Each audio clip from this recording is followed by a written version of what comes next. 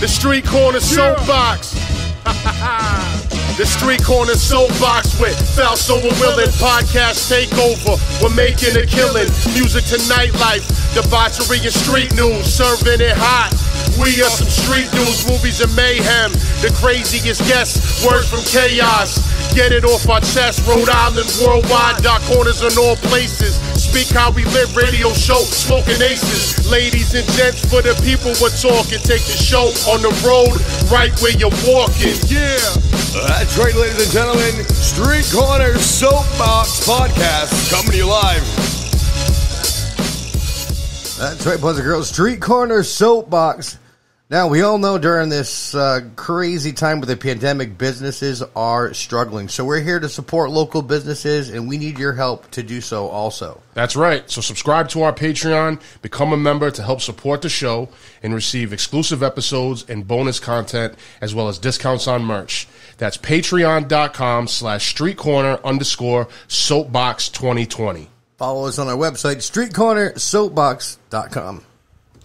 That's right, boys and girls. Street Corner Soapbox. I'm back with my brother, Lord Willing. Yo, what's going on? What up? What up? We got Big Steve Tripp in the house. Yo, Steve Tripp, what's going on, bro? What's up, guys? Thanks a lot for having me. Of course. Yeah, guys. Steve opened up uh, Top Strength Project. Uh, Dope Gym, Pawtucket, Rhode Island. Uh, what's that? 402 Walcott Street, Pawtucket, Rhode Island. Yeah, we're, we're right by the stadium. We're actually neighbors with um, what's the Harley Davidson place over there? Precision Harley. Yeah, Davidson? yeah, yep. They're I know what you're talking next door to about. us. Yeah, yeah. Shout out to the bucket. Um, I'm gonna have to come check the gym out. Yeah, Big Guy's got a huge facility over there. Yeah, we uh, we it's actually our second spot. We expanded there. Was it the same location? No, no, holy! It's been almost two years. December will be two years in that location. We were over on the west side of Providence, right next to the police station on Washington Street. Okay. For just about exactly three years. About two and a half years in, we realized we don't. We needed more room, so we started looking for space. It took about six to eight months to come to fruition, and now we're over in a 10,000 square foot facility right on Walcott Street in Pawtucket. Nice.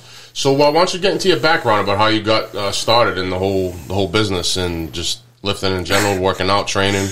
Well, I mean, do you want do you want the do you want the full story? Or? Yeah, yeah. Go ahead. Yeah, we got time. Well, it just you know, but what's funny is, is it was never the plan. You know, um, you know when you guys do come to the gym when you walk in when you walk into the Top Strength Project, you know, I, I would walk into a place like that and kind of look around and say, you know, this is a place where, you know, a guy or a group of guys g- got together and, and had a plan. And 5 years ago, they were like, you know, this is what we want and this is how we're going to get there. We've all heard the the fail to plan. Uh, what is it? The plan to fail, fail, whatever. What, what's that saying? Fail to plan, plan to fail. Yeah. Yeah, yeah. Well, I, I- I couldn't be more honest in saying that there was no plan. This was never the plan. It was just an organic process that became something uh, very special that my partner Vanessa and I are very proud of. Um, many, many year, years ago, as a teenager, you know, I was playing um, college football. I had no intention of ever being a personal trainer, being in the fitness industry, in the fitness industry at all. And um, the the summer before my senior year of high school, I got into a, a really serious car accident. I fell asleep at the wheel coming home from work. I hit a kid coming the other way, and um, I shattered my jaw, broke both arms, broke both legs. Damn. Yeah, I, I was in pretty rough shape. He was fine, luckily, but I was I was a fucking mess, and I spent about a month and a half in the hospital.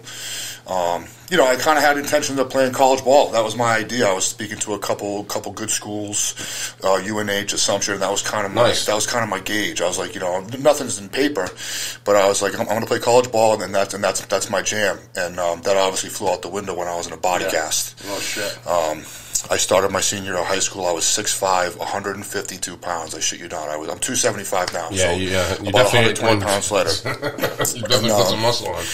you know, so I, I didn't really know what, what I wanted to do. I was kind of bitter. I was kind of like, forget school. I don't want to go to school. And I, I'd always done trade work. I had a couple friends that were carpenters and contractors, so I got back to work for them um, as soon as I got my cast off. And about two weeks in, I was doing a roof in uh, Swansea, and I got tripped up and I, I fell off the roof. I jumped off the roof. It was just a single story, but I landed on both feet, and I shattered both my heels, both my calcanei. Oh wow. Jeez. So, you know, I was kind of like, well, shit, I guess I'll go to college, give myself some options. I'm in a lot of pain. I got to figure something out. So I ended up going to Bridgewater State, and I started studying exercise science and, um, you know, started training again. I got back in shape, got back up over 200 pounds, was, was feeling pretty good. I had a lot of residual pain and chronic pain from the injuries, obviously, but I ended up walking on playing football there all, all four years.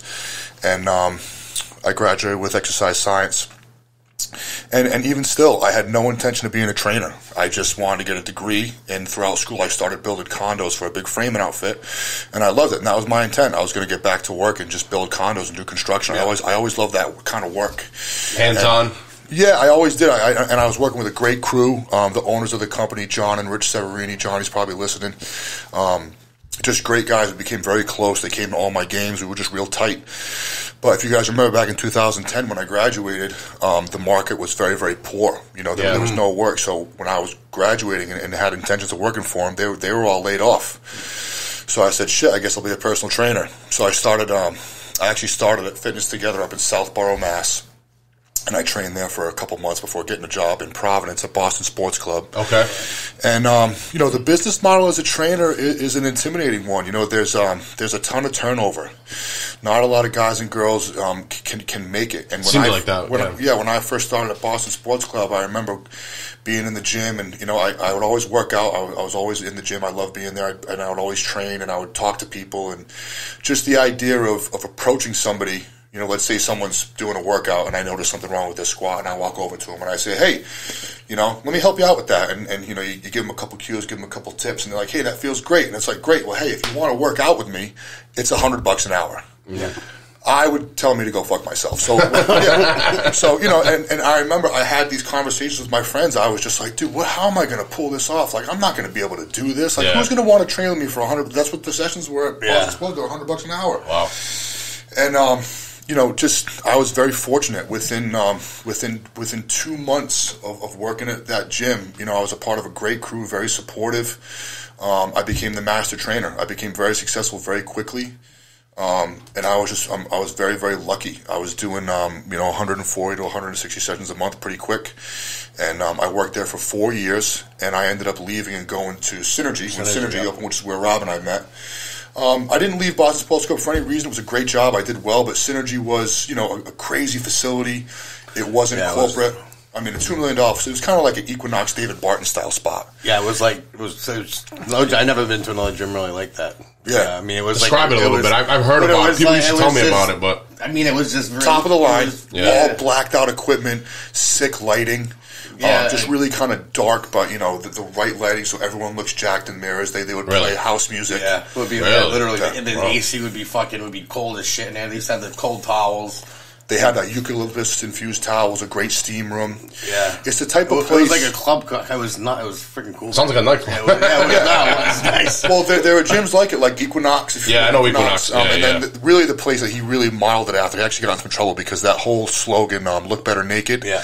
He stole that from from Equinox. Oh, no, not Equinox. Sorry, David Barton gym. And there's a handful of David Barton gym, and they do very well in like Miami or like L.A. In Providence, Rhode Island, not so much. Okay. You know, there really wasn't much of a market for it. But um, I ended up taking my business there just because I saw an opportunity. It was, it was a single owner gym, and I was kind of at the top of the corporate structure as a trainer at BSC. So I said, "Look, you know, let's, let's take a chance and try it." And um, I, I had a had a great two years there. That's actually I was I was offered the position of uh, director of personal training to bring on trainers and mentor them and build a training program, which was you know it was pretty awesome. Yeah. You know, nothing I'd ever seen myself doing. And uh, Vanessa. Syria was the first was, was the first uh, the first of two trainers I hired. I interviewed like a dozen or so, and you know there wasn't anything wrong with any of them, but you know just nothing really stuck out. But when I met V and this this kid Tony Bonvecchio, who was still a good friend of mine, um, we just really hit it off, and we just started. And they both did very well, very quick. Especially Vanessa, she built a she built a great business and a great following. And uh, fast forward, say a year and a half, two years the gym synergy itself uh, wasn't doing so hot. Um, people were getting double charged. Our checks started bouncing. Um, the gym itself just wasn't wasn't being run well. Um, but the, reality of it is is it, it's tough. It, it's tough to have such a high end facility like that in Providence. Like I said, Boston, Yeah. L.A., Yeah. Miami, maybe more of a maybe more of, of a market for it. But anyway, V and I were out one night with uh, with a couple friends and we had a couple drinks. And she started getting a little mouthy. She gets like that when she drinks, gets a little mouthy. and uh, and and she just basically looked at me. She's like, "Hey, when are you going to stop being such a fucking pussy and open your own gym?" And I was just like, I'm not opening a gym. I don't want to open a gym. I don't even want to do this. I, I wouldn't even know. I wouldn't even know where to start. And, I, and and we work at an amazing gym. I could never open a place as sick as that, and it's it's it's tanking. And she was just like, "Listen, you could open a gym tomorrow if you wanted to, and if you did, I'd follow you."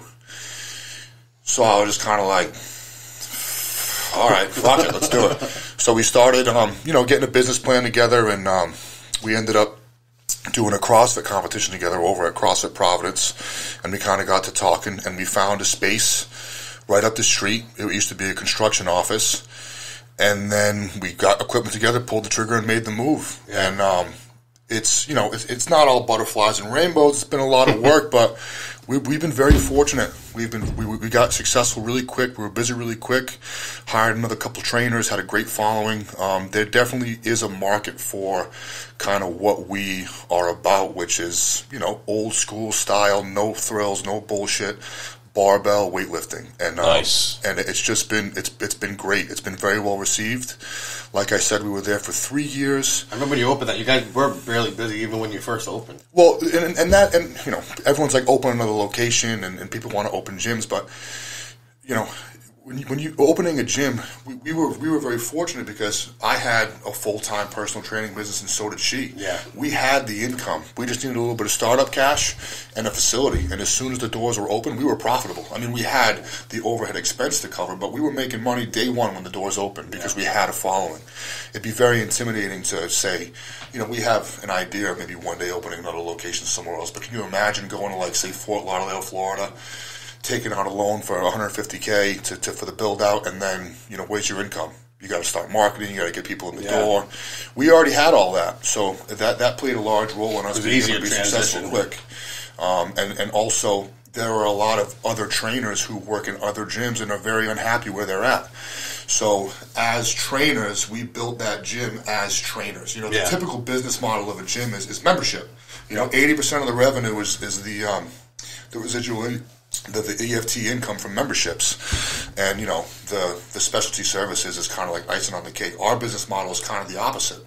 You know, 80 90 percent of what our money comes in is, is it's the training, it's the specialty services, and we had a small membership at the old gym, but now when we expanded to this new spot, it's a full blown ten thousand square foot facility. Now we have a membership as well, mm-hmm. which helps cover a lot of our overhead costs, and it's nice because now we have more space. And to be honest, I get to have all the equipment I want. You know. Yeah. So so it worked out very very well. We're very we're very grateful and very fortunate. But I, I have to say it's um it's been it's been great being able to connect with someone like Vanessa who really shares a vision. Um, you know, I don't know if you guys have one like this in your life, but you know, just someone that you can really count on, someone that you really know is operating in your best interests. Um, you know, whether you're there or not, and you know, business and things like that, it, it can ruin relationships. But Vanessa and I really have a special thing. We really, we really want the same thing. We both want to be successful. We, we have the same idea of what makes that happen. And um, it, you know, I'm, I'm just so grateful to have met her because I, I wouldn't have been able to do it without her, no doubt. You know, she's been a huge help. Well, sounds like a uh, good success story. know, Yeah. for sure. and and I'm always taken back when I go in, and you know, it's so nice. The people that go there are so appreciative, and they're so compliant, and they don't feel entitled at all. You know, they're grateful for it because they know what it is, and constantly they'll pull us aside and, and thank us and say this, that, and the other. And it's it's funny to be on the receiving end of that conversation because I feel like I should be next to them. You know, I'm I'm just as mm-hmm. grateful to be able. It's corny, but like you know, that, that's where I work out. You know, that's my Right, spot. yeah. Well, that That's- makes my sense. thing. It's what I want to do. Yeah, you know? yeah. And I think that's what separates us from other gyms. Is a lot of the times corporate gyms and, and other gyms are, are opened by people who have expendable dollars, and they're like, you know, I'll sink 250k into a gym, sell 5,000 memberships, and collect. Yeah. You never, never see. I've noticed that Hands happen a um, lot. Well, I'm fucking there. I got a hammock in the back, dude. I'm always chilling. if I'm not training, I'm eating. If I'm not eating, I'm training clients. And if I'm not doing that, V and I are are making the facility better. You know, it's it's it's something we both really enjoy, and I think that that is something that's that's noticed and well received by everyone that goes there. Yeah. Would you say you're living the dream? I don't know. it kind of sounds like it, man. You know, you love what you're doing. You like being there. A lot of people uh, Yeah. can't say that. You got a good team. It- It's it's a it's an interesting it's an interesting thing. The thing is is we're almost at a point where the gym is completely profitable. I'm I'm already almost at zero. Nice. So when it's at that point and I don't have to, you know, train 40, 50 sessions a week, and I can focus more on just building the business and getting. I- I- a dream of mine is to, to have five, six, or seven full time trainers there. You know, making eighty to hundred thousand dollars a year under my roof. You know, feeding them, mentoring them, and, and having them be successful. Um, a, a true self sustaining business would, would really be interesting. I think at that point, I'm, I don't think I'm the type of guy that will ever put my feet up and collect. But at that point where I'm not a necessity to keep the place going, Yeah. and I can feed it. Um, and, and I'll have more options. Maybe I can travel and, and do seminars at other gyms and stuff like that. You know, I think that would kind of be Oh, the you dream. can, you'll have more time on your hands. Yeah, yeah, but um, but I, I I'm I'm very grateful. Um, I, I really am, and, and um, it's just funny because, dude, it was not the plan. it was, it was the Well, it turned out well, I think. Yeah. Regardless, Yeah, I, I, I I agree with you. Have you seen the gym? I haven't. No, no. I'm gonna have to check it out though. Sounds like a dope spot. Yeah, it's cool. It's I mean it's um you know it's it's so I'm a, I'm a pro powerlifter and pro strongman. Yeah, so yeah. Saw that. I think what the um, what what the what the biggest draw is is there are other competitors in the area, and no one really has that type of equipment. Um, it's stuff that I was ignorant to until I opened my own place. You know, just like specialty barbells. Um, I remember Tony, the, the the trainer I, I spoke to you guys about that I hired with V. He was a competitive powerlifter at the time, and we were at Synergy, top of the line gym. He'd go over to these bars. He'd be like, "I can't deadlift with this bar. I can't squat with this bar." And I remember being like, "You fucking princess, what are you talking about, man? Five hundred pounds, five hundred pounds. Pick it up." But now that I have my own place, I am the biggest bar snob equipment snob. I, I got a bar and a plate for every single exercise. And the strongman stuff, you know, the logs, the stones, um, the kegs, the you know, the truck pulls, all that stuff. You know, you're not going to find that it at LA. Fitness. So you have all that stuff at your facility. I have fucking everything. Oh, that's dope, And if I don't have it, I'll buy it. Um, Nice, man. And so, so that that creates a specific draw for the serious clientele, the competitive athlete, or somebody that just wants to be able to take advantage of having the best stuff. Nice. So, um, and again, it's it's I'm, I'm very fortunate to have been able to, to build this place out exactly how I wanted because of how well the first place went. Yeah. No, uh, no sirens go off if you drop weights there. No, no, I, I- almost, I, I almost thought of changing the name, make, making it, making it uh, purple and, and fluorescent yellow, and calling it, calling it the Judgment Zone. If, if you can rip a notebook in half, then you, uh, not a notebook, a phone book in half, then Yeah. uh, you, you can't you can't come in. Yeah, yeah, yeah, yeah. That's, that, that, that's, that, that's the intake process. Spit on the floor. Spit on the fucking floor. let, me, let me hear you grunt. But there's a plan to finish right up the street. Yeah. And I'm pretty sure all the trainers, if that's what they call themselves, Yeah. that train there, Yeah. they all they all train in my spot. yeah, on the low, right? They don't tell anybody, but no, no, they know. They're- Every, every, every, everybody knows. And some of the Planet people come over.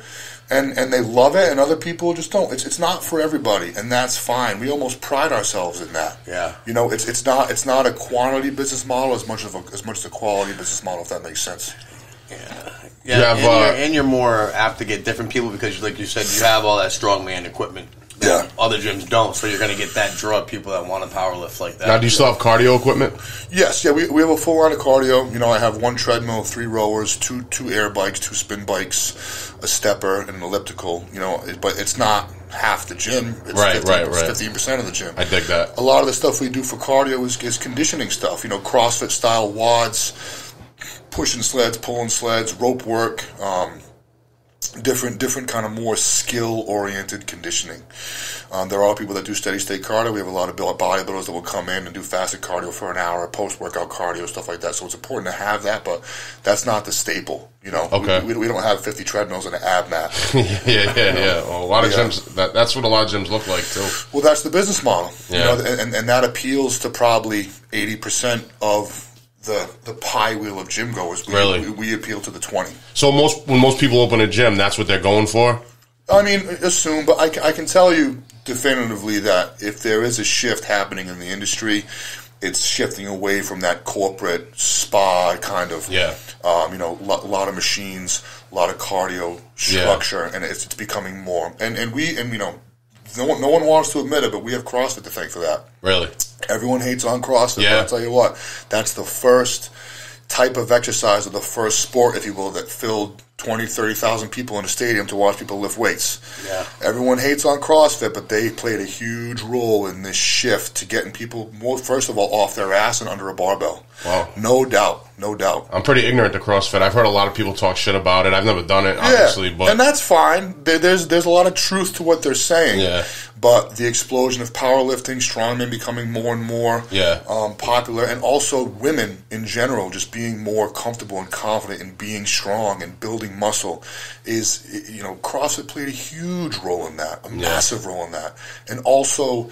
You know, just, just raising the bar of, of human potential, what was understood as possible. I mean, they, if you look at the games, and I, I'm not, I'm, I'm the opposite of a CrossFitter. I'm not a CrossFitter. Yeah, you don't look like a CrossFitter. I've, I've won three or four CrossFit. what I would think of anyway. I mean, maybe I'm just stereotyping, Yeah. but you, you don't really remind me No, of I, you know, I, I'm, I'm just, I'm just a guy, but I'm, I'm pretty well rounded. You know, I'm, Yeah. I've, I'm undefeated in powerlifting competitions. I'm undefeated in just about every strongman comp I've done, aside from the one where I broke my arm at nationals, and I've won three CrossFit comps. So I like to do everything. Yep. But um, if you, the point I was making is, if you look at, if you look at powerlifting 20 years ago, a 2,000 pound total. Which is squat, bench, deadlift combined. You guys familiar with that? So squat, bench, deadlift Yep. combined, 2,000 pound total. 20 years ago, 2,000 pound total was a big deal. Yeah. Today, No. 2,000 pound total is still a big deal. Big Yeah, deal. yeah. People are getting stronger and stronger, but if you look at 10 years ago, the CrossFit Games and the events that they were doing and what they were accomplishing, what they were capable of, to now, it's like not even human. It's insane. Really? Yeah, it's insane. For those that don't know, what what does that consist of? As far as CrossFit? Yeah, as far as so, so just like the WODs, just the complexity of the WODs, um, the amount of weight people are lifting, how much longer they can go, how much further they can go. CrossFit as a practice is basically you do everything. You do everything. It's very wide and very and very wide ranged. Whereas strongman, powerlifting, bodybuilding is very is very finite. It's very tunnel vision. Okay. Um, and basically, you know, for the general population, the best way to get better at nothing is to do everything. Sure. But these elite level CrossFitters are fucking awesome at everything, and and and how how much uh, as a sport that they've continued to raise the bar each year is, is like nothing else. Really? I'm gonna get chastised for saying this, but it's Really? true. it's true. It's true. It's true. It's true. You, you can't you can't deny it. You can't deny it. And a lot of the gripe and a lot of the criticism that comes with CrossFit is that your average person who isn't in shape, doesn't know the moves, doesn't know how to snatch, doesn't know how to clean and jerk, probably shouldn't even be squatting at all. They go to these CrossFit classes and they get hurt. Yeah. Now that's not CrossFit's fault. They could put up the money and work with a trainer for six months and go to a CrossFit class and do very well. And it's so funny because people always criticize, oh, well, CrossFitters have bad form. Well, you have shit for form doing a fucking bicep curl in the gym. At least they're doing a complex move that actually takes some skill and there's, you know, places to screw up. So, you know, How come? How come people hate on it so much? Why did that start? That even came about? Uh, there's there's a lot of pieces, and I'm, I, I don't know who, who am I who am I to say, you know, but um, a lot of you know like the vegan stereotype, like what's the 1st thing a vegan says to tell you they're a vegan. Same thing with CrossFitters. CrossFitters, yeah. Kind of, CrossFitters kind of wear it as like a badge of honor. Yeah. Yeah. But you know something? So do powerlifters. Yeah. So so so, Right. do- so do anyone in any sport. Um, you know, as far as I'm concerned, if, if you are somebody that says you want to do something, you have a goal in mind, and you do what it takes to get there, I got you back 100%. Yeah. A thousand percent, a million percent, whatever it may be. It's um, it's it's those people that, that do what it takes to get to where they say they want to go that, that are special to me. I don't care if you're a CrossFitter, a powerlifter, strongman, or a bikini bikini figure. I think, I think CrossFit came out and got more people actually training that didn't too. Yeah, exactly. That's the point I made earlier. It, it definitely got the most people off the couch, the most people moving. It appeals to a wide range Yeah. of people, right? Is that Yeah, yeah, accurate? And and the pieces the pieces that, that build that puzzle, I think, is um, you know it's it's a class structure. So you get in there. There's ten or fifteen other people. You guys are all trying to compete with each other. There's camaraderie. There's community. There's culture. There's atmosphere.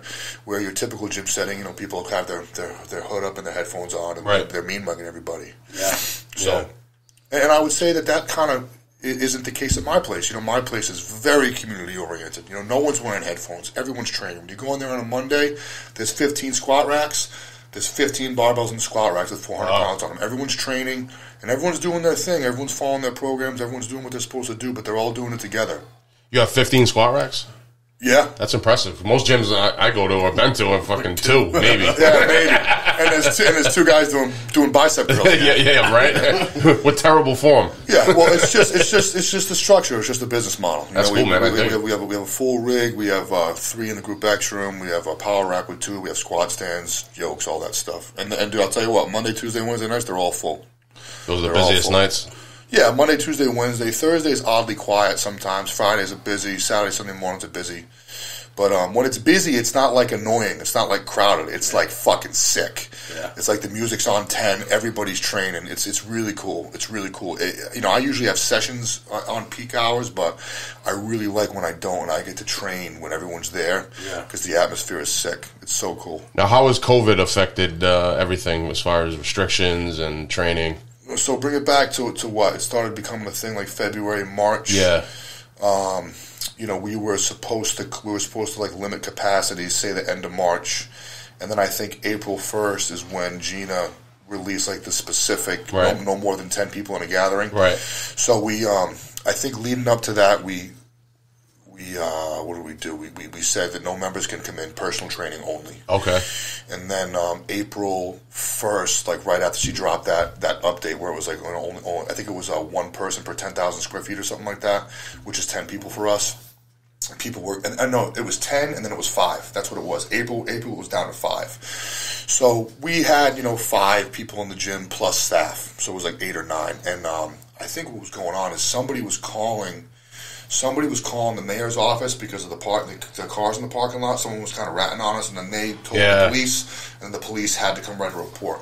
And everybody, I'm sure you guys experienced the same thing. No, no one's like busting balls. Like the cops would show up and they'd be like, "Hey guys, so you know." Supposed to only be five people here. Yeah, we're, yeah. We're, we're really sorry, but someone called the mayor's office, so we have to come write a report. Hmm. And a lot of the cops come to the gym. So Yeah. I was like, dude, I totally understand. I'm not trying to be defiant. Just tell me what I can and can't do. They're like, it has to be five people. So I said, no problem.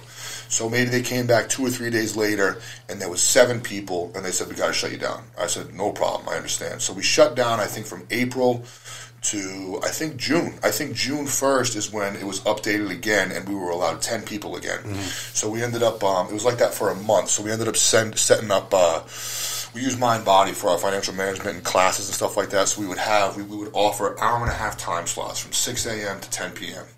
And you know you could you could go online and and, and reserve. Uh, you know, say eight thirty to nine thirty, or eight to nine thirty, and then that would be capped at ten people. So we did that for a month. That worked very well. And like I said, you know, the people that build our clientele, that our members, everybody wanted the gym to open. So everybody was compliant. Everybody Yeah. was really understanding. Everybody cleaned up their shit, wiped everything down. Um, and, and I'm being sincere. Everybody was was was fantastic. And then uh, fast forward to July 1st, it got um, it lightened up a bit. I think we were allowed one person per 150 square feet, which is like 75 people, which is full capacity for us. So we opened up and we were we've been fully open since July. And what was really nice is is we opened up so much sooner than Mass that all the Mass meatheads were coming down to check out the gym. I mean, a lot of them, dozens, and many of them just signed up for one month. They're like, "Oh, we'll just do a month." It's like 110 bucks for a month. I think we were doing at the time. We just want one month, but then a lot of them loved it, you Yeah. know, and um, and a lot of them stayed. So things continued to grow, and then now it's starting to get tightened up again. You know, we, we've, we've had the Department of Health come through like three times and run us through all the checklists and all the forms and things we have to hang up and tape and cleaning and spacing and all that. Yeah. You guys have to wear masks the whole time when you train. We, we, we didn't up until uh, three days ago. Oh, really? So so when when Gina tightened tightened down again, we, we just started wearing them three days ago. Really? And it's not that we, we weren't wearing we weren't not wearing them to be defiant. It's just when, when they came when the Department of Health came, you know, it was kind of like you should you should be wearing masks, you Yeah. know. But if you're not, we had signage up that said um, if you're not wearing a mask, maintain a safe distance of 14 feet. Okay. You know, and um and, and we were we were covered as far as we knew. But um, recently, the Department of Health has come twice in the last two weeks to take us through the checklist and everything. And again, they're not. They've been totally kind. I mean, everyone gets different people. There's a bunch Yeah. of them, but they come in. They're very, very kind. They have a checklist. They, they want to see our logs. They want to see our cleaning logs. They want to make sure we have the proper signage, the proper things to check, and that we're just basically checking all our checking all our boxes. And then they say, "All right, we'll be back in a month." You know, so we're just we're just doing what we are told we have to do to be mm-hmm. able to stay open They as come long as once a possible month? supposedly, supposedly once they come, they they put it in the system and and no one will be back for a month. But there was some kind of screw up. Someone came last week and someone came two days ago too, and um, it's just the same thing. There's a there's a 12 point checklist and then three more, and now masks are on that checklist. So we asked everybody to wear a mask. Now, how did you get into? You know, you've competed in a lot of uh, powerlifting uh, events, and one you said you were undefeated, right? Yeah, I haven't lost the powerlifting meet. How did you uh, get into that exactly? when I opened my last place, um, the first strongman I ever did was was kind of out of college when I was at Boston Sports Club. I'd never done anything strongman, and to be honest, this girl Drea that I had a huge crush in in high school. Nothing ever, nothing ever came of that, unfortunately. But anyway, she'll probably laugh. Maybe now. yeah, no, she, she'll probably laugh. She heard that, but this girl Drea was um, was dating a Seekonk cop, and they were doing a fundraiser. It was the Collier County Strongman or something. It was for some officer Collier, I think, died in the field, and they had um, they just like, hey, I know you lift weights. We're doing um, a strongman competition to raise money for the department, and it's right in Rehoboth. Would you be interested? I was like, hell yeah, I'll do it. So I ended up doing it, and I ended up winning. You know what I mean? It was um, it was it was it was, it was a lot of fun. It was a deadlift, a log, a yoke. And then um, fast forward three or four years, I opened my first location, and this girl Libby, who I think was 17 at the time, was was working with one of the trainers at my place, and she was like, "Hey, I want to do this this uh, powerlifting competition. Um, I want to beat the the world record for a 17 year old girl deadlift or something. I think it was 205." So I was like, "Dope, I'll do it with you." So we ended up doing the powerlifting meet, and I ended up winning. And I was like, "I guess I'm a powerlifter now." So we started we started a powerlifting team and started training powerlifting. Strongman, similar story. This kid. Um, Adam, what was his name? But he was training at my gym for a little while, and he was a competitive strongman. And he was like, "Hey, I'm doing uh, New York Strongest Man. It's coming up in two months. You know, could you like sponsor me or can I wear a shirt?" And I was like, "Dude, I'll do it with you." So I did it with him, and I ended up winning. There And you I go. like, I guess, I guess, I guess, I guess I'm a strongman now. You know, so we started getting the equipment and training, and then um, you know that's kind of been my my my process is you know, I don't necessarily train like a powerlifter. I don't necessarily train like a strongman, but I do do the stuff. It's definitely um, the foundation of the way that I train. But again, like I said, I try and just be really well rounded. I, I want to look the part too.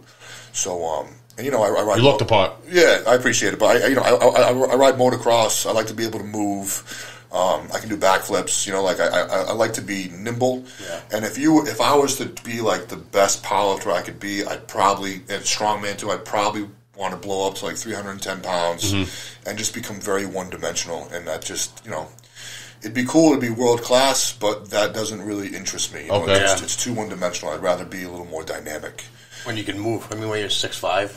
I'm 6'5", yeah, I'm like 270, 275 now. The heaviest I ever got was like 285, but I'm usually between 265 and 275. What are we putting up for numbers as far as lifting goes? So I have the, um, I have the, the, I just broke the state record for squat, 744, Wow. um, which which was great. But I'd say probably the best the best squat I ever did was I hit 700 for three one time, and it was like lightning. It was a, it was a six set. Um, my deadlift.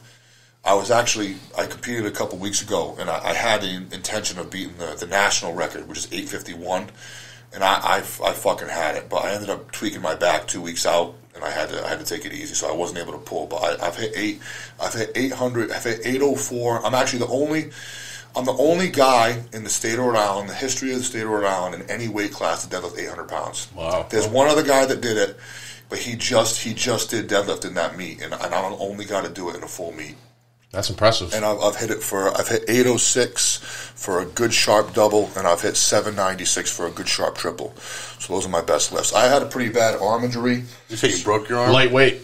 Yeah, I, I, I, I, I had, um, yeah, it's all relative, I guess. But um, I had um, my my first time at nationals. I crossed the finish line with a sandbag, and my legs gave out, and I came down on top of my arm. It wasn't painful at all, and it wasn't even an adrenaline thing. I just landed on my arm. I was like, "Fuck, man!" And the last event was Stones, which is a great event for me. Um, you know, I was in pain, but not not so much pain that I didn't think I could do the event. Um, I knew I had six reps, and I was in the back of the pack. I think I was tied for second. So you get to go last. So I'm watching everybody go, and guys are getting one, two, guys are zero, and I'm like, dude, I got this shit. I'm gonna win this event.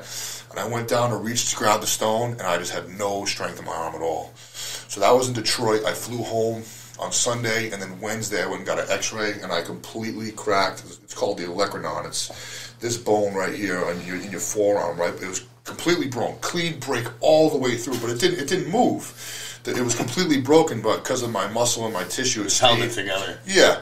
So I went in and I got ten screws and two plates put in. This guy John Paxton, who's a great surgeon at University Orthopedics. I saw that X-ray on Facebook. I think. Yeah, yeah, and um, and you know, I, I thought for sure I'd be back in no time, but You I, didn't know it was broke either.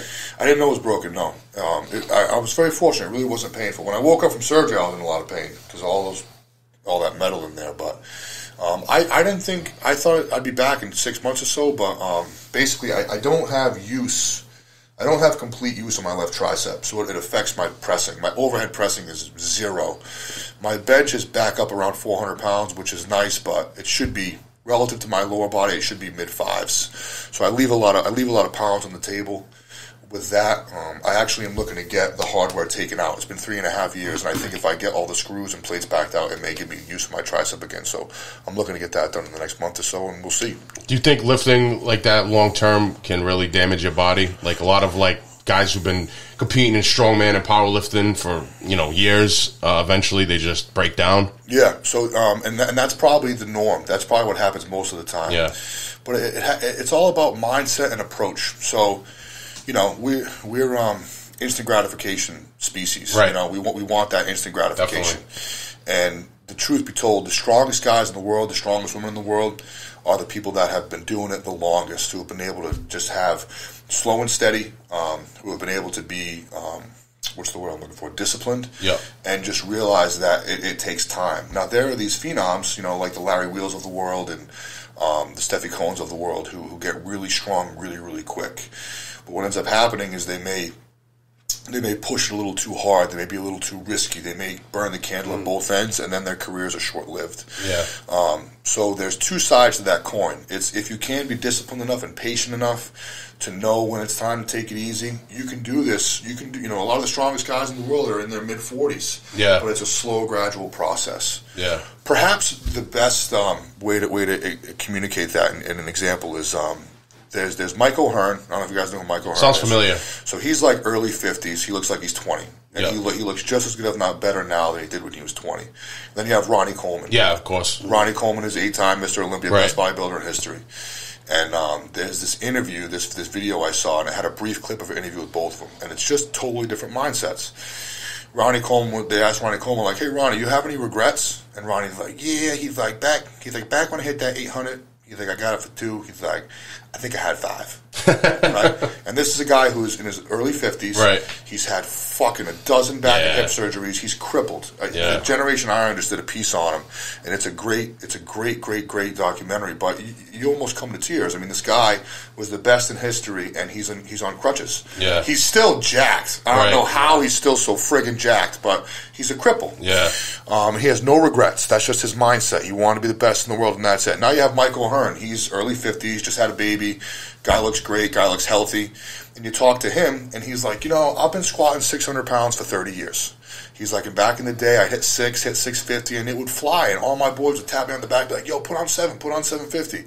He's like, and I just, I don't know, it didn't really appeal to me. He's like, I would have rather hit 600 or 650 really, really well, mm-hmm. other than put on the seven or eight. And he's 53 Yeah. or 50 something. He looks like he's fucking 20 and Yeah. he's still squatting 600 And pounds. his body's not completely destroyed. Yeah, so it's kind of just having that gauge, you know, Yeah. being being disciplined and um and, and just And just knowing when it's time to over back down. Yeah, that makes sense. I think that's a smart way to do it. It's just like a fighter, you know, knowing when to it's time to retire or something, you know. Yeah, and even just even just when you're on, when, when you're competing, you know, taking your rest, taking your off seasons. Yeah. Um, you know, being smart, get, getting your blood work done, making sure everything's everything's in, in, in, in the right in the right spot, so Yeah. you can do this forever. You know. Yeah. I had a friend who was doing the strongman competitions and big motherfucker, and uh, he was just like he stopped, he retired because he was like I was tired of just waking up and feeling like I couldn't even move. Yeah, and it's also like I said, like you know, if I wanted to be, um, and I'm not, I'm not saying the only reason I'm not world class is I'm not 300 pounds. I, don't, I wouldn't say I have what it takes to really be world class. I mean, maybe who knows? But the the, the lifestyle and basically, if you want to be healthy, don't compete. Right?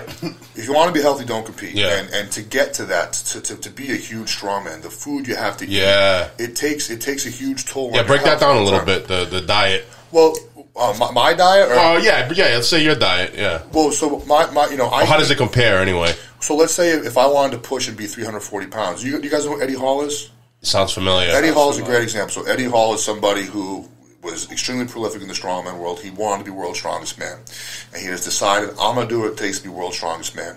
And he's like six one, six two, and he's going up against you know the Hafthors and the and the, um, Yeah. the Brian Shaws of the world who are 6'8", 420, 440. Yeah, yeah. They're so fucking huge, Right. and and they're so big they push the limits to be 440 pounds, but they don't push the limits to be 440 pounds as hard as someone who's 6'1 does. Yeah, sure. So Brian, so um, Eddie Hall, just one year, just said fuck it. He, he just he, he, he blew up to like 430 pounds, six feet tall. He looked like a bowling ball. Yeah. I mean, you, you just look at him like that guy's gonna have a heart attack. He was as red as that towel, and um, but he was huge. Yeah. and and he won. He won World's Strongest Man, and the moment he did, he was like, "I'm fucking done. I retire." Really? Because he was he was on the verge of death the entire time.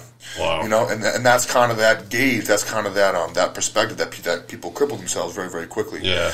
Um, the way that I eat, I, I, I work with Stan Efferding, the guy that wrote the Vertical Diet, so I, I follow that. So I'm actually logging my food today, but um, it's a lot of whole eggs, a lot of red meat, a lot of rice, um, and and non-cruciferous, low FODMAP vegetables, things that, that just digest digest very well. Yep. So um, you know, my breakfast is six whole eggs, spinach, um, some Ezekiel toast, and the rest of my meals is is usually red meat, you know, lean ground beef, lean steak, a big pile of rice, and, some kind of vegetables Is that what you eat normally, or just when you're competing all the time. all the time? You should just time. stick to that. Yeah, and um, it's not challenging because it's friggin' delicious. I'm not doing chicken breast and broccoli. I'm doing fucking ribeyes and, Okay. and bell peppers and rice. It's delicious. Yeah, sounds and, good. and I do go out to eat sometimes, and I and I will have like a cheat or a, A cheat day, yeah. But to be completely honest, I, I have to force myself to do it. Really? because I, ju- I just the food the food that I eat is great. Yeah. It's, it's really really good, and, and I, I think I've become accustomed to it, and I also think I associate how food makes me feel just as much as how it actually tastes. You know, things can be delicious and they can make you feel great. If, if I eat like shit, I feel like a big soggy bag of wet dick. So I usually don't. I usually just don't. Eat, I just rather not eat that way most of the time. You know, Yeah. That's what actually eat. definitely body changing. Got used to it for sure. Yeah. So you said it was a vertical diet. it's called the vertical diet. Yeah. So What is what is that? Um, it, it's everywhere. It's Yeah. everywhere. Stan Efferding wrote it. He's brilliant. I'm so so fortunate to have connected with him a couple years ago. He actually flew into my gym twice, did a seminar there. Oh, yeah? I connected him with Arthur Arnold. He's a really special guy. I, I call him all the time. He's always he's a busy dude, but he's always available. He's a very humble, very very kind person, and he wrote something called the Vertical Diet. And it, it's not something you have to. You know, people people look at it quickly and like, oh, it's just steak, white steak and white rice. It's not. It's just it, it, it, it takes a look at food in, in, a, in a manner that you eat food that your body digests well. Mm-hmm. Digestibility is the most important thing. We're not what we eat, we're what we absorb. Okay. So Yeah. getting so getting macros, getting the food in is great and everything, but if if it doesn't agree with your body individually, um, you know, it causes gastric distress, bloating, water retention, poor mood. Yeah. And if you feel like shit, how are you going to bust ass in the gym? That's true. So, and, and a lot of the times, you know, there's a lot of foods that people have been eating. Your, your, your traditional bodybuilding diet, you know, um, sweet potatoes, uh, sweet potatoes, chicken breast, quinoa. Um, what else? Broccoli, oatmeal. So all these foods are, are on something called the FODMAP, and I won't get too science because it's boring, or maybe it's kind of interesting. But a Yeah, lot of the, a lot of these foods, like broccoli, cauliflower, quinoa, even sweet potatoes, oatmeal, all these foods are on something called the FODMAP, F-O-D map. It's an acronym that I can't pronounce what it means, but basically, these foods can cause gastric distress. Really? Now, if you or I sit down and have half a cup of oatmeal, we'll probably be fine. But high FODMAP foods have a cumulative effect. So let's say. You know, you used, you used, used to be pretty serious in the gym, right? Yeah. So a day of eating you would be like would be egg whites and whey protein in the morning, Yep. right? And then you would probably go chicken and broccoli, chicken and broccoli and rice, um, cauliflower, quinoa, sweet potatoes. Yeah, it was similar. I changed it when I did the blood type diet. Um, Yeah, that's pretty cool. There's some truth to that. yeah, I did that. However, I'm A positive, and A positive is supposed to be salmon and vegetarian, and I am not that at all. So there, there's some truth to it. If you're having trouble digesting foods, you don't know what to eat, you can look at those blood, those blood, and, and, and you know some people have great success with Yeah, it. I mean, it worked for me when I was taking it serious. Yeah. you know, but I, it was like it was chicken and steak, and I was like, when I plateaued, I was like, why the fuck am I not changing nothing? And then I read that, and I was like, it's not really. I didn't have enough stomach acid to break down those proteins, so I had to switch to like fish. Yeah. more fish and turkey and lamb, rabbit, stuff like that. What's really interesting about that is, is digestibility. Is you can take. Um, I wish I could remember what it was, but it's super inexpensive. It's a digestive enzyme that's already in your stomach, and you can just supplement it, and it'll help you digest all those foods. Oh, yeah. But basically, the point I'm making is the typical understanding of dieting is is very low fat, right? So you have uh, lean chicken breast, you have broccoli, you have oatmeal, um, and all a lot of those foods are on the FODMAP, and they have a cumulative effect. So if in the same day you have a couple cups of broccoli, cauliflower, some quinoa, and oatmeal, these are all healthy foods, Yeah. right? Well, they can fuck up your digestion big time. They Really? can cause gastric distress. And all these people are dieting, training their ass off. Like, why am I so watery? Why, Yeah. why do I feel like shit? And it's, well, a lot of these healthy foods, which are healthy, they do have micronutrients, they Yeah. are real food, they are vegetables, but they're on the FODMAP and they can cause gastric distress. So I avoid all that shit. Yeah. I avoid all that shit. And um, as far as protein, chicken breast is fine. You know, ground turkey's fine. Um, egg whites are gay, but what- I mean, but eh, but I, I lean more towards the red meat and and the uh, and the whole eggs because of the micronutrients contained within them. It's just a superior source of protein. You're getting vitamin B, you're getting choline in the eggs, which is so important.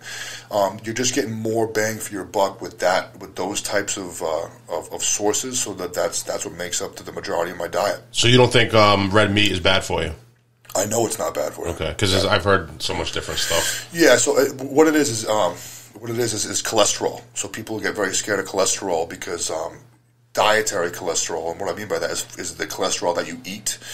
Um, they believe it's associated with blood cholesterol. So basically, if you have high blood cholesterol, if you eat red meat and whole eggs, Yeah. which contain cholesterol, that it will raise your cholesterol. Right. They're finding that that's not true, and the FDA, I believe, is in the process of officially changing their sta- their stance on that. But they're kind of dragging their feet because they've been saying one thing for Yeah, for thirty so years. Yeah, yeah. they can't, you know, it's it's tough for the FDA to be like, well, I fucked up, you Yeah. know. so- Yeah, sure. but um, but basically, cholesterol is, is very hereditary. High cholesterol is hereditary. Yeah. A of, that, that's the biggest factor. If, if, if people have high cholesterol in your family, you're probably going to have high cholesterol. The other things that, that determine that is um, is stress. Yeah, you know, that's uh, a big one. Yeah, psychological stress absolutely can jack up your cholesterol, and processed foods and foods that don't digest well. You know, and, and tho- those uh, are, what will elevate your blood cholesterol much more than uh, whole eggs and red meat will. And of course, it's lean cuts of whole meat. It's the leanest cuts. Um, I actually rinse my ground beef after I cook it to get rid of a lot of the fat content, and I'm still getting all, all the good stuff. So is it? do- would you say it takes a lot of dedication though to to you know eat the diet that you do? It's a fair question, and I, it's know just like a I'm- lifestyle. I'm, I'm, I'm, I know I'm different, but no, it, it doesn't. It doesn't. It doesn't take dedication at all. It doesn't take discipline. I just think that, um, you know, I, I'm just the type of person that if if I want something, I'll do what it takes to get there. Yeah. And um, and the thing with food that's so interesting and why I'm so troubled and I have to, I'm, I'm not the best coach because I'm not empathetic and I don't understand people if, if you if you want to to look a certain way and feel a certain way, and if you can be told, "Hey, eat these foods," it's going to get you there. I don't understand why you wouldn't do it. And additionally, when when you eat food that isn't you know that, that doesn't digest well or is probably poor, I mean, I don't know about you, but I feel like shit. Yeah. I feel like shit. Yeah, you notice. I definitely notice a difference. Oh man, my tits feel like they're sagging. I feel like fucking gut over myself. I feel like I have a double chin. I feel a little swollen and inflamed. My joints hurt. So, you know, the, the short answer to your question is, is if I don't eat this way, I can't do what I need to do Right. in the Yeah. gym, and I, and I feel like garbage. affects you mentally too, probably. Oh, no doubt. Uh, Yeah. Mental clarity. Here's, here's another. This is another tip we're saying is salt. So salt has been demonized for years, Right. especially in the bodybuilding and training community because it's associated with water retention. Yeah. that is completely false. Really? salt, especially iodized salt, Mm-hmm. is um, s- so- sodium is literally involved in the chemical equation that creates muscle contraction. It's literally part of the process. That calcium and a bunch of other stuff that I'm not smart enough to know, but. People who are low salt, who then start salting all their meals, it's life changing. Mental clarity, um, pumps, how good you feel, your energy. Um, people who are low salt, who implement more salt, it, it can be life changing. It can Really? be absolutely life changing. And again, that's a common misconception. Yeah, no. Yeah. Um, along with cholesterol and, and, and other certain fad diets that, that have that have kind of polluted people's minds. What do you think about the keto?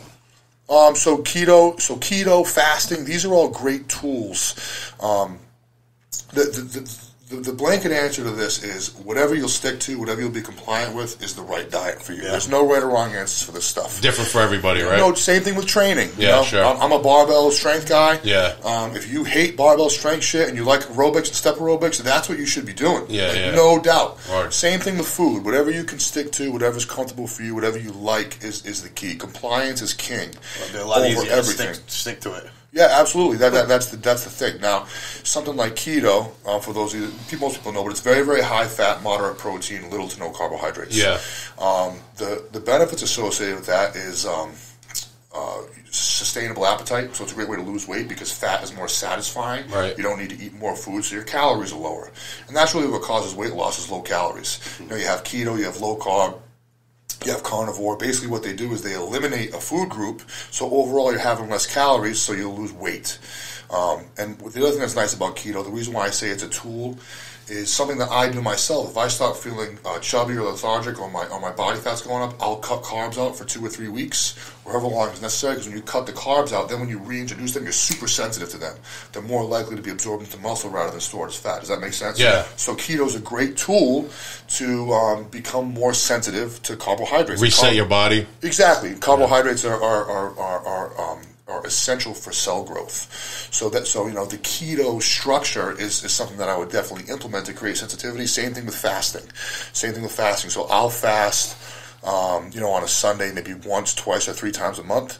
Um, if my appetite starts to go to shit, and then it'll help me be hungry again. So these are all great tools. In reference to people who want to do keto, want to do intermittent fasting, like for life, if it fits for you, and you're and you're smart about it and you cover all your bases, I'm, I'm all for it. You know what you stick to is definitely the best plan. There's an individual bias to all this shit. Where you at with carbs? Like, um, what's your carb intake? I mean, it's high. It's, Okay. it's friggin' high. Certain car- complex carbs or Uh, you usually ones that digest quick. So all my carbohydrates come from uh, white potatoes once a day. Okay. A ton of white rice and fruit and juice. Okay. So me being lean. And good being- carbs? Are those good carbs? Yeah, those, those are those are. Because I've read different things about. Because I'm always I'm, I'm always reading up on this shit or trying to, and I see I read different things that Yeah. too much carbs are bad. And, And that's what's so challenging is this. but then when you train, you need them right for recovery. Of course, of yeah. course. There, there's so much info out there, and so much of it's friggin' garbage. Right. You know, um, and there's people who may disagree with what I'm saying, but I can I can tell you that white rice is, is a perfect food in reference to, to digestibility. Okay. If you were to take a million people and feed them all white rice, one or two of them might not be able to digest it well. The rest of them digest it perfectly. So white rice is definitely the staple carbohydrate. I like white potatoes because they're low on the FODMAP and they also contain potassium. Okay. And potassium helps with with a myriad of things. It's a very important electrolyte, and it also helps absorb carbohydrates. So I try and have potatoes once a day. In reference to um, juice, so if someone was overweight and wanted to lose weight, I would recommend they have an orange or two a day because um, the orange has a lot of micronutrients, but one of which that stimulates the liver, which helps absorption and digestion. Someone who's trying to gain weight, I use orange juice. So I have oranges in the morning, and throughout the day I'll have like little three ounce sips because that has the same effect on my liver and it also elicits appetite, helps me eat more food. Um, and then there's fruits. You know, berries. Berries Yeah. are great because they they're high in micronutrients. They have a lot of um, phytonutrients and things like that. So um, basically, if you guys haven't picked it up already, every source that I go to, it's not just carbs, fats, and protein. There's another piece. There's a micronutrient piece. There's another. There's another reason why I choose these sources over others, other than just trying to hit my, You get the most, benefit, most benefits out of it. Yeah, and and overlying all of it, it's it's that it digests well. You want food that that your body digests well, and we're all different in that respect. Sure. Um, switching up a little bit, can you run us through your training regimen, like on a regular basis? Yeah, so I mean, it changes throughout the year. Um, there's like you know, I, I feel so silly calling myself an athlete and saying that I have like off season and a preseason. No, I'd say you are. Yeah. I, I As much a- as you've competed, I, I have a hobby. I have a hobby. I don't necessarily I mean, get paid for it. fucking 800 pounds, that, that, that's pretty fucking athletic, I Yeah, think. all right, well, I, I, I appreciate it. I You really, do a I really do. at six five. and, and I, I appreciate that, but you know, I see these people, you know, they call themselves athletes. Like, you ain't getting paid, motherfucker. You have a hobby. What you're doing is the same thing as playing magic cards, except, you know, give me a fucking break. But anyway, um, you know, off-season training tends to be higher rep, more volume, more bodybuilding, I guess, but still using the competition compound lifts. So I, I work out probably five to six days a week, and right now I'm doing a split routine where I'll have you know a squat day, a bench day, uh, a deadlift day, and then a shoulder press day, and there's all kinds of accessories that that go throughout it. Um, and that and that split, I probably do that four months of the year. And then the other eight months of the year is more of a higher frequency program. It's still five to six days a week, but basically those exercises, rather than doing all squat stuff in one day, you know, so let's say if I, you know, let's say if I open up with a squat, I'll do a squat and then a couple variations of the squat, and then I'll fucking murder my legs. On bench day, same thing. I'll do, I usually do bench and row together, so I'll do bench press, I'll do rows, and then I'll murder my chest. The, so that's four months of the year. That's off season. In season, it's more sport specific. It's a higher frequency program. So I'll basically squat twice a week, deadlift twice a week, press four times a week, and if I'm doing strongman, I'll work those events in as well. So basically, what the benefit of that And you can, there's no right answers to this question. You can argue either way, but the benefit of that is it basically spreads the stimulus out across the week. So you can get basically, let's say, the amount of work I can do to my legs in one workout. If I strategically spread the stimulus over multiple days in a higher frequency program, at the end of the week, if you were to calculate all of the total tonnage moved and the work done, I'm probably getting more work in the higher frequency program than the split routine program. So it all depends on where I'm competing, what the events are, and what's going on. But like I said, usually five to six days a week. Um, a lot of compound lifts, a lot of barbell work, and uh, and the strongman implement stuff too throughout the year. Just take one day off, rest day.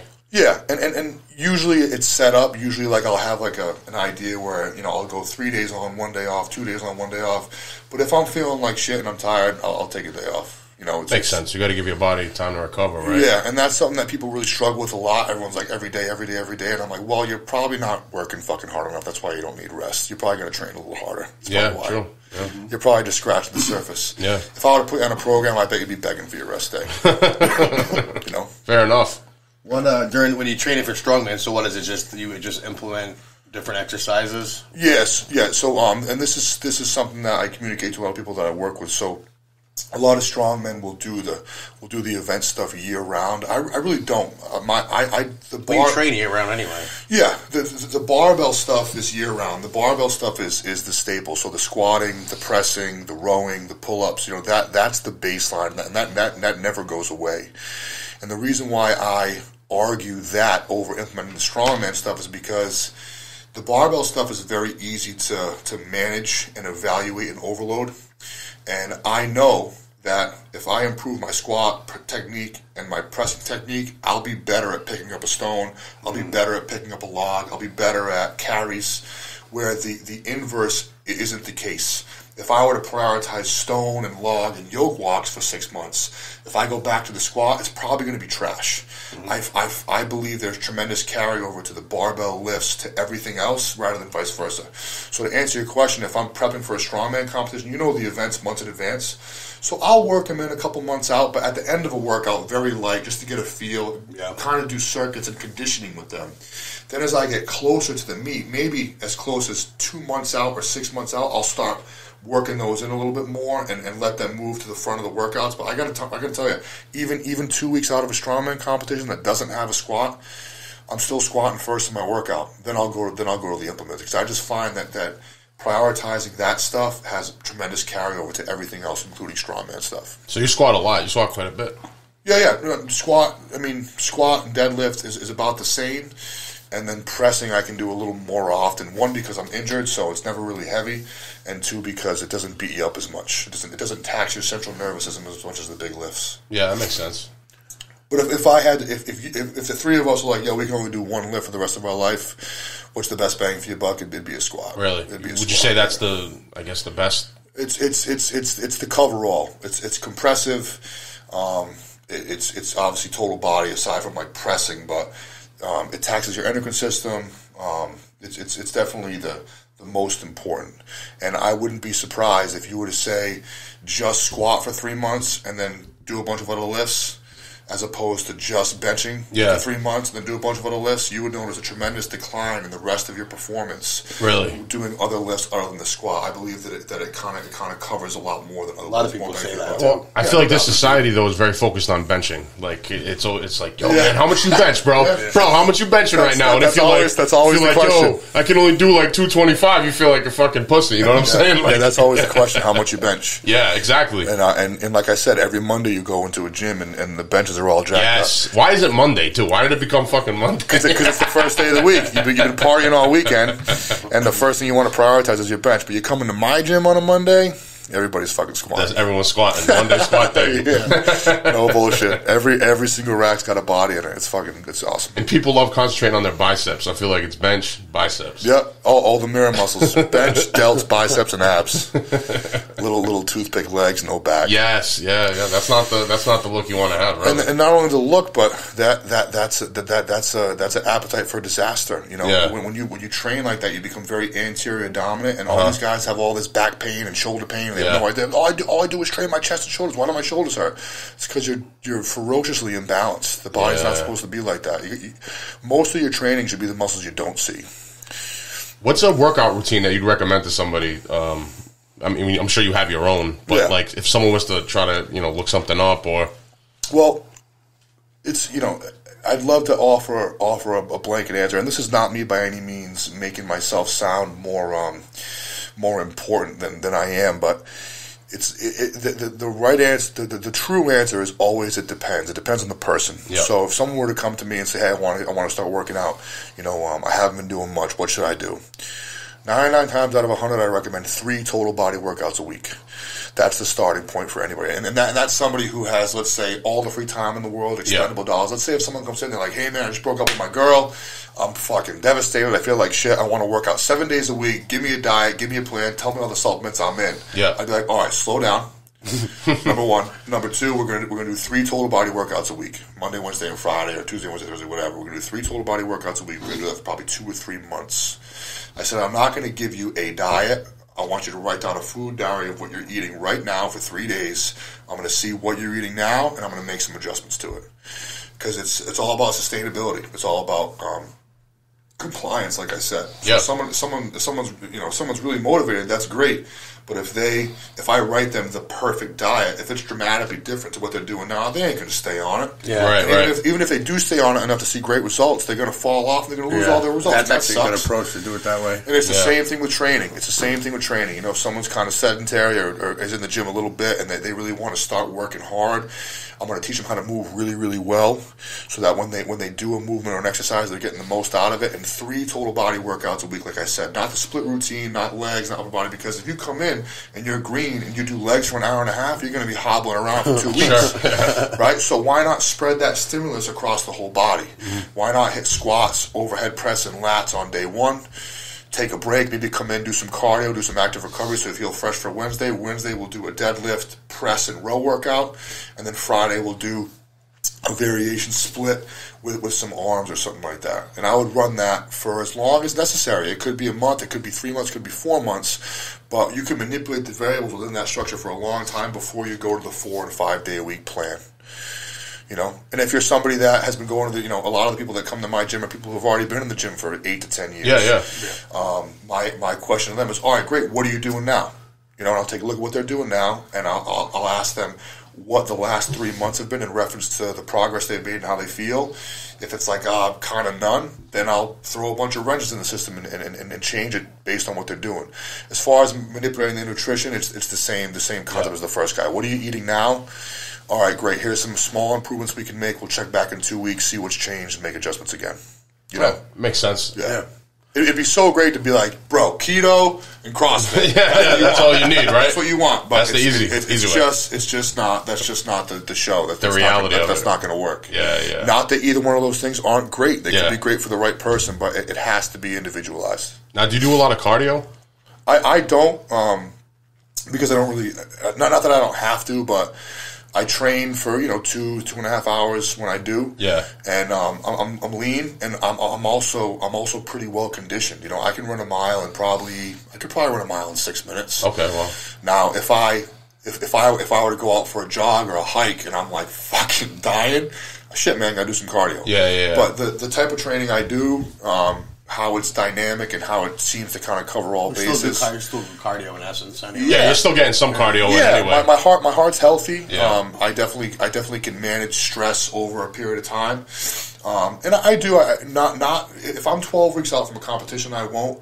But like now and and during the off season, I'll do like CrossFit style conditioning workouts. Uh, my girlfriend Jen is uh is, is very into that type of metabolic conditioning. So what was really cool is I'll do that shit with her, and she'll do the strength stuff with me. so Oh, cool. you know, Balance- balance yeah, each other out. it's, it's more it's more conditioning stuff. It's not like just straight cardio on a bike or a treadmill.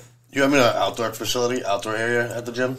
We, we yeah we, we were fortunate we have our own parking lot, so we go outside. We got tires and sled drags and truck pulls and stuff. Nice. cool. but um, n- nothing. It would be dope to have like say an outdoor wall because it's a it's a loading dock, my Mm. place. But if I had like an outdoor wall, I could set up a couple squat racks outside. That'd be really cool. Yeah. But um, we do have an outdoor area, and there's garage doors, which is really nice too. Mm-hmm. But um, you know, n- n- nothing really extravagant. so, uh, what are your upcoming plans for yourself and the gym? Well, right now, you know, we're kind of at the mercy of what's going on. You know, uh, everyone's talking about a holiday shutdown, so we'll see. We'll play it by ear. We got a an event that's normally huge called the Super Total. We had 50 competitors, probably 200 spectators last year. Oh, shit. So the, yeah, but the next one's coming up Saturday, and we have like 11 competitors, and the probably won't be a lot of spectators. It's going to be small. Yeah. But um, we have that in the books. We have um, a powerlifting meet, a RPS powerlifting meet, February seventh. Another another USPA powerlifting meet at the end of at the end of March, and we have a huge uh, national qualifier, an Arnold qualifier, strongman competition, Ocean State Strongest Man, I believe at the end of June. And that's going to be massive because it's a, it's an Arnold qualifier, which means this particular competition qualif- the, the winner goes to the Arnold, which is you know Yeah. one of the two biggest strongman competitions Yep. in the world. So people will be traveling from all over to compete in that event. That's going to be massive. It's going to be cool. Where's that? Where? It's, it's at my gym. Oh, right. Yeah, oh, it's at the gym? Yeah, yeah. So Ocean State Strongest Man five. We, we, we got the bid for the um, I forget exactly what it's called, Platinum Plus Arnold qualifier, and there's only one or two of those a year. Mm. Oh, yeah, that's so people are going to be traveling from all over to compete at that one, no doubt. Yeah, that's fucking good. Yeah, so those are the events. Um, and again, you know, as far as as far as other things, we're kind of at the mercy of what's going on. Right. We're still full, still full full speed ahead. You know, staying with staying compliant with all the rules, and it's been great. But if we have to shut down, we'll shut down. If we have to go limited capacity, we'll limited capacity. We're just kind of playing it by ear, uh, like everybody else for now. Yeah, I think that's all you can do right now. Yeah, and um, and and we're doing it with a certain degree of humility and understanding. You know, everybody's really frustrated. Everybody gets really aggravated, and then they hate this person, they hate that person, they disagree. This is bullshit. That's bullshit. I don't know, man. I you know I own a business and I want to stay open and I want to continue to make money, but I also see the big picture. Yeah. and um, and I think we just gotta chill and, and understand a bit. And the the more compliant we are, and the more serious we take whatever we have to take, I say the quicker we're ahead of this thing. I agree with you. No, I, I agree. I think other countries have done that and proved to be successful. Yeah. You know, But it take it takes everybody to have that kind of same mentality, Yeah, and yeah. most people are just angry. Most people are just angry, Well- and, and, I, and I get that. But if, if if you're fucking around and you're not you're not doing your part, it's just going to drag the situation out even longer. Well, that's what we were just talking about that a couple couple episodes ago. Um, in Australia, they just got out of their quarantine. I guess it was three weeks ago. Yeah. they've been on since March, but Yeah. they haven't had a case in 14 days. They're telling me so. Yeah, yeah. But they that's that's heavy to be fucking. I mean, everyone. maybe that was the right approach from the beginning. Yeah. I don't. I don't know.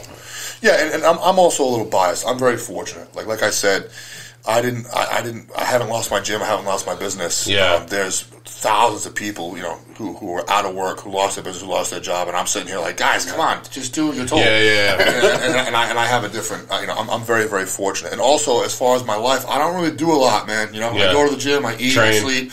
You know, so as far as like my life as a whole being um, affected by this, I'm just annoyed that I got to wear a fucking mask when I go grocery shopping. That's really as far as it goes Yeah, yeah. for me. And and so so I'm a little biased in saying that. I'm, I'm very I'm very lucky, and I feel for those who have really been affected by this. Um, however, I just hope that things come together and, and we can put this behind us uh, sooner than later. I agree with you on that, bro, for sure, man. Um, why don't you give out your social media, your website, where you can be contacted for Social the people? media, uh, I'm, I'm on Facebook, Steve Tripp. Uh, my my Instagram is Strapini at Strapini S T R I P. No, I'm, I'm sorry, Strippcam S T R I P P C A M. It's not X-rated. My name's Steve Tripp. my name's Steve Tripp, and you know, Instagram camera. That that that's that's what I did years ago, and I stuck with it. No matter how many people think I used to be in the industry, I'm not. um, and then the the website at the Top Strength Project for Instagram, and the website's uh, TopStrengthProject.com. Pretty straightforward. Um, we're there. We're very active on social media. All of our updates, events, things that are going on. Um, myself and my whole staff is on the, the Instagram page of the Top Strength Project. So if you want to message us, you get all of us. If you want to contact me directly at Strippcam, S T R I P P C A M. Very cool, man. We'll definitely promote those for you. We'll You post still the go? links Uh, you still do that fucking thing on the Saco River? Oh man, luckily, luckily those years are behind me. But I did that. I, I did that for nine years strong. Nine I years remember. strong. The last year we went, it was just a it was just a bust out. The water was really low. That we, we we didn't float. The weather sucked. Yeah. And I had Well, eight. last I went what, two years ago. Yeah. and it was fucking. It was the water was low. Yeah, I I had eight fantastic trips up to the Saco River, but the last one, the ninth one, was was junk. And I think I came home, and like a month later, I, I set the chug I set the chug boat on fire and, and, Did you walked, really? and walked away. Yeah, it was kind of nostalgic, you know. Oh yeah. Yeah, But that that was a good time. Saco, Maine, up up in Fiddlehead. That was that was that was a that was something I look forward to every year for a long time. Yeah, you guys went heavy. yeah. Uh, any shout outs you want to give? Uh, Oh, you put me on the spot. I I, I, I got to be honest. I really appreciate you guys reaching out to me and having me Oh on the man, show. it was Thank great. This was great. down. Yeah. Yeah, I love doing this stuff, and I, and I really appreciate. Yeah, you did a opportunity. podcast. I seen you did a podcast before too. Yeah, yeah. We, we we started one of the top strength casts. Um, You still going with that? we, we, we did three of them. And, you know, it's funny. People ask all the time, when's the next podcast? When's the next podcast? And I'm like, ah, yeah, we should do it. Um, I, I have the videos. I was going to upload them all to um, to YouTube, but I haven't yet. Um, but, yeah, we'll continue to do it. I have four or five guests lined up that want to come on. It's just a matter of, of pulling the trigger on it. Yeah. Yeah, that's the top strength cast. Cool. So stay tuned for that top st- top strength cast. Yeah, it'll be coming. Cool, man. Yeah, we'll, we'll promote that for you for sure. Yeah. And um, yeah, that was good. Absolutely, man. Yeah, Steve, thank you for Thank coming you, man. down. Thank you for coming on, bro. Uh, thank you. sharing both. some stories with us. Uh, the Top Strength Project.com. You guys are in the area. That's 402 Walcott Street in Pawtucket, Rhode Island. Come down, check the gym out. Have Steve, uh, Steve show you around. You guys While, while, while we still while we still can. Yeah, yeah. Before Get in there. down. You got anywhere you got anywhere from three to five days to get in before they shut us down. Hopefully not. But yeah, man, thanks for coming on the Yeah, show. thank you. Street you're Corner welcome. Soapbox. We're fucking out of here. Peace. Follow us on Instagram at street underscore corner underscore soapbox. Don't forget, guys, check us out. Like us on Facebook at Street Corner Soapbox. And subscribe and follow us on Spotify, Apple Podcasts, Google, Stitcher. And all digital platforms. Don't forget, all of our episodes are going to be on streetcornersoapbox.com. Love you all.